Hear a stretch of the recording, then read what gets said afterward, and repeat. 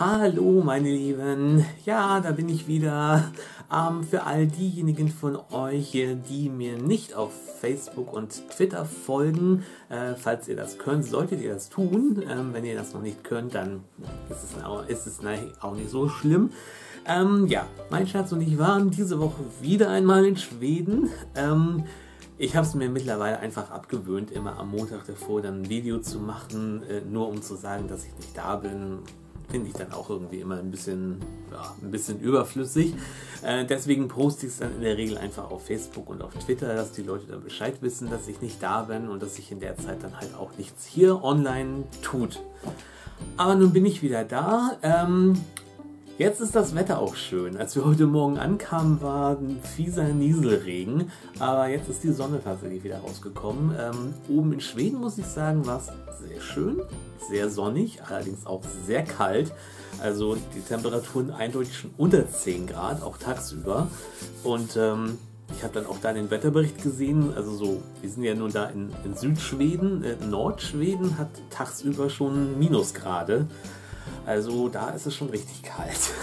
Und äh, der Wind ist deutlich frostiger als hier bei uns. Und ähm, der Herbst ist eindeutig auch schon ein bisschen weiter. Also die Bäume sind schon sehr bunt oder auch schon sehr entlaubt. Hier bei uns geht das gerade erst so richtig los. Ähm, ja, ansonsten, es war ja eigentlich ruhig, sehr ruhige Fahrt hin, sehr ruhige Fahrt auch zurück, also richtig angenehm. Und äh, ja, natürlich war ich auch wieder ein bisschen shoppen. Ähm, diesmal mal wieder keine Animes, sondern diesmal habe ich wieder ein bisschen bei Mangas und Büchern zugeschlagen. Und ähm, äh, ja, deswegen zeige ich euch einfach mal ganz kurz, äh, was ich alles so mitgenommen habe. Und zwar, ja, an der Manga-Front Einmal habe ich hier Band Nummer 5 von Demon Love Spell. Und ich muss immer wieder sagen, ich, ich mag diese englischsprachigen Mangas. Sie sind, erstmal sind sie ein bisschen größer als die bei uns rauskommen im Taschenbuchformat und weiß nicht, irgendwie sind die schön. Also, und die sind alle hier vom Shoujo Beat Verlag, nennt sich der. Äh, wie gesagt, einmal Band 5 von Demon Love Spell und Band 6. Und äh, ja, damit ist dieser Manga dann auch abgeschlossen. Hier hinten steht auch drauf Final Volume. Also Demon Love Spell, sechs Bände und damit ist die Geschichte dann auch zu Ende. Ja, dann geht es dämonisch weiter, nämlich mit Band 5 von The Demon Prince of Momochi House. Ähm, ich glaube, ich habe es schon mal erwähnt, den Manga gibt es auch auf Deutsch. Da heißt er aber, glaube ich, nur Demon Prince, äh, ohne das Momochi House. Aber ja, wie gesagt, Band 5 davon. Einen weiteren Band 5 und zwar von dem Manga Kiss of the Rose Princess. Der, glaube ich, wird auch noch ein bisschen weitergehen. Ich habe da im Regal, glaube bis Band 7 oder Band 8 habe ich stehen sehen. Der nächste Manga, ja, da muss ich noch, äh, der ist zwar schon komplett erschienen, aber das wird auch noch ein bisschen dauern. Ich glaube, der geht bis Band 18. Ich bin mir jetzt nicht sicher oder noch länger. Auf jeden Fall so irgendwo um den Dreh. Und zwar ist es Band 4 von Uran High School Host Club. Ich habe den Anime dazu ja auch, den muss ich ja mal gucken, mir gerade ein. Äh, ja, und noch einen Manga, nämlich Band 4 von Kamisama Kiss. Kamisama Kiss gibt es ja auch bei uns auf Deutsch. Und äh, ja, der ist, glaube ich, noch lange nicht zu Ende. Da habe ich viele Bände noch im Regal stehen sehen. Aber macht ja nichts. Ja, das war's an der Manga-Front. Dann habe ich auch noch ein paar äh, Bücher mitgenommen. Und zwar habe ich gefunden Band 2 von Yoshiki Tanakas Legend of Galactic Heroes Ambition, äh, also auf Englisch. Ähm, ich bin mir ehrlich gesagt nicht sicher, ob diese Romane jemals auf Deutsch erscheinen werden. Also es ist schon ein Wunder, dass sie auf Englisch jetzt endlich erscheinen. Und ähm, ja, wie gesagt, das ist Band 2. Ähm, falls ihr den Anime dazu nicht kennt, äh, wenn ihr ein bisschen Science Fiction interessiert seid, guckt auf jeden Fall mal in den Anime rein. Ähm, sehr, sehr klasse. Dann, ja. Ein weiterer Band 2 und zwar die Nachfolge zu Gail Carriage's The Parasol Protectorate. Ähm, die Bücher, in denen es nämlich um ihre Tochter ähm, Prudence geht. und das ist Band 2, Imprudence. Ähm, das läuft unter der Serie ja, The Custard Protocol. Und das ist Band 2. Ähm, der ist endlich erschienen. Ich habe Band 1 zwar auch immer noch nicht gelesen, aber ich gehöre halt zu der Suche, ich, zu der Sorte, ich kaufe mir auch dann, noch, auch dann schon neue Bücher, wenn ich noch gar nicht fertig bin, die alten zu lesen. Es ist äh, schlimm. Ja, und das hier ist ein kleiner Spontankauf, weil ich gesehen habe, so, äh, ja, erstes äh, Buch in einer neuen Serie. Und es hat so ein bisschen mit Hexerei zu tun und sowas mag ich immer gerne. Und zwar, ja, die Reihe heißt A Magical Bakery Mystery, also ähm, eine äh, magische Bäckerei-Mystery-Geschichte. Brownies and Broomsticks. ähm, ja, ich bin gespannt, wie das ist. Ähm, ich kenne ja schon die, ähm, äh, äh, ähm, ja, äh, ich habe ja schon einige Bände aus der Reihe, ähm, na, Witchcraft Mysteries äh, von Juliette Blackwell. Da bin ich zwar noch nicht ganz durch, aber und äh, davon habe ich gesehen, davon standen auch schon irgendwie sechs Bände im Regal. Also die Reihe ist wohl auch schon etwas fortgeschritten und äh, ich mag sowas. Also einfach mal so Romane, die man einfach mal so schön weglesen kann. Ähm, ich weiß nicht, ob es so wahnsinnig tiefgehend ist, aber es hat immer ein bisschen was mit Magie und Hexerei zu tun und das mag ich sehr, sehr gerne. Ja, so viel zu den Büchern. Ähm, dann habe ich mir aber tatsächlich noch eine DVD mitgenommen, allerdings nichts Anime, sondern noch eine Klassik Doctor Who Episode, die Underwater Menace. Ja, soll zwar eine ziemlich üble Story sein, aber in Sachen Doctor Who bin ich halt äh, Komplettist und möchte halt alles, was irgendwie auf DVD veröffentlicht ist, gerne haben. Und ähm, deswegen habe ich die hier mitgenommen. Und dann habe ich noch etwas. Und zwar, ja, lange überlegt, mir endlich mal auch sowas zuzulegen. Ähm, ihr kennt ja diese Malbücher für Erwachsene. Gibt es ja mittlerweile hundertfach, tausendfach. Und ich habe lange überlegt, mir davon auch mal eins zuzulegen. Ähm, das Problem bei mir ist, dass viele davon habe ich dann auch schon mal so durchgeblättert, fand die Zeichnung dann aber nicht so ja, nicht so gut gemacht oder auch nicht so dolle oder jetzt einfach auch nicht so anspruchsvoll oder ansprechend jetzt zum Ausmalen.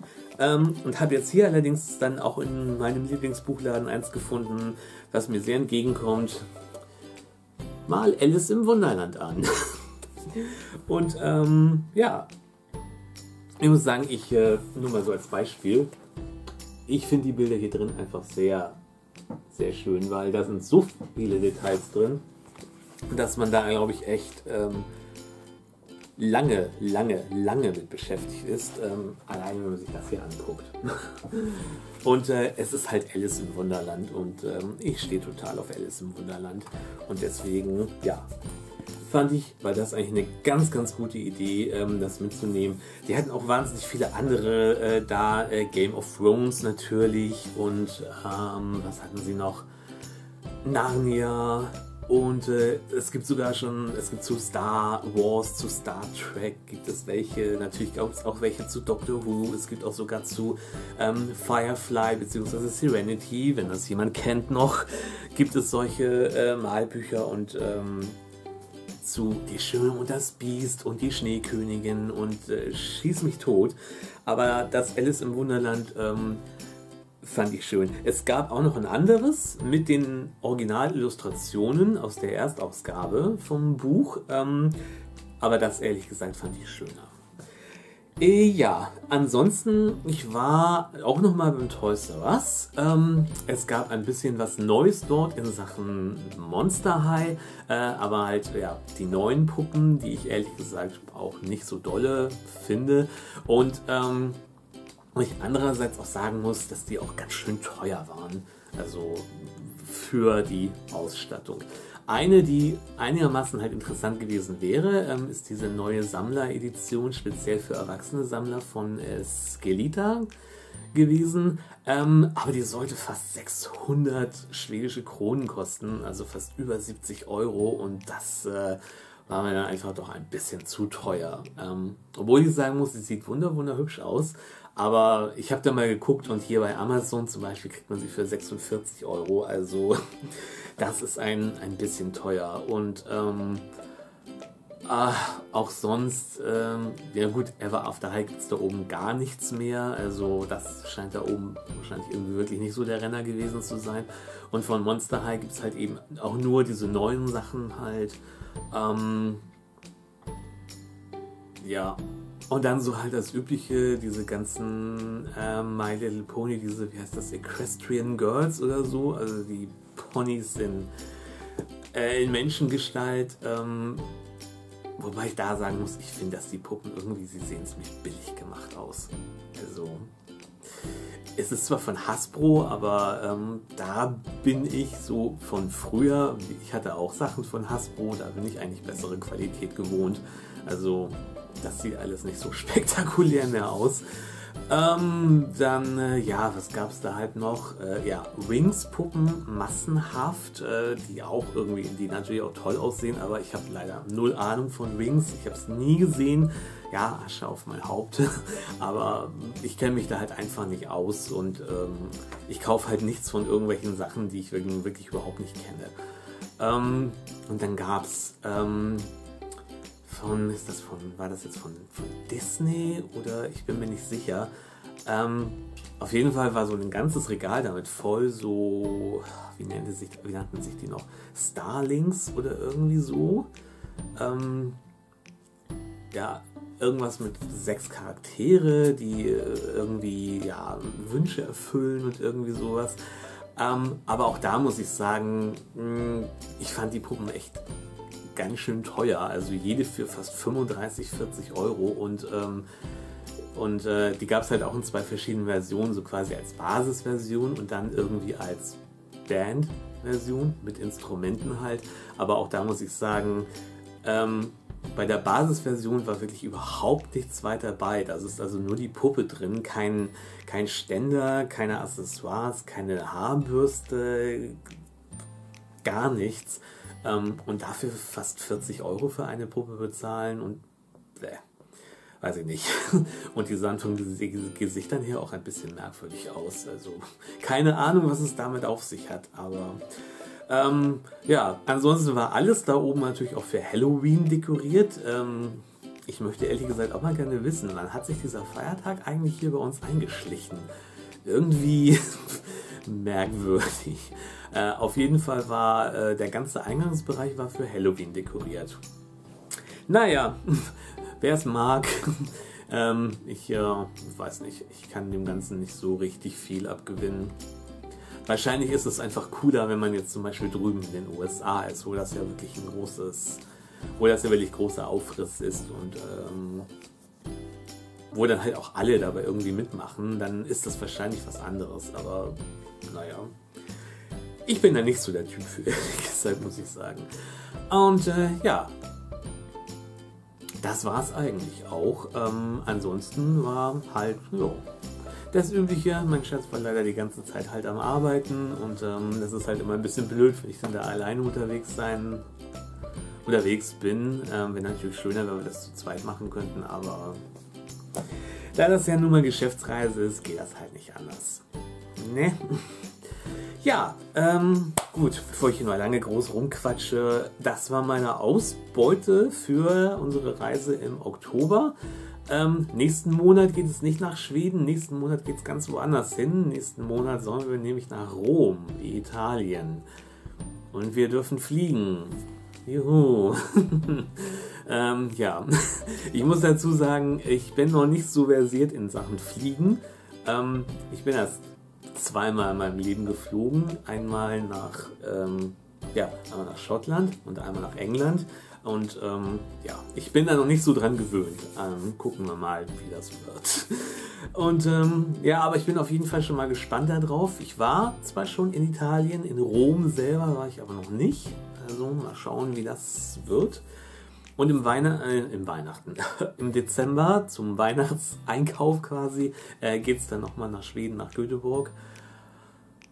Und dann ist erst einmal auch ein bisschen Ruhe, weil dann sind ja auch schon Feiertage und alles. Und ähm, ja, und ich quatsch schon wieder weiter, obwohl ich es eigentlich schon zu Ende haben wollte, das Video. Okay, ja. Genug geredet jetzt, das war meine Shopping-Ausbeute. Ähm, ja, wenn ihr irgendwelche Fragen, Kommentare habt, wisst ihr ja, wo die hingehören. Und ähm, Ja, schön, dass ich wieder bei euch bin und ähm, ich sage mal, wir sehen uns dann im nächsten Video. Und bis dahin, macht's gut, meine Lieben. Bis dann erstmal.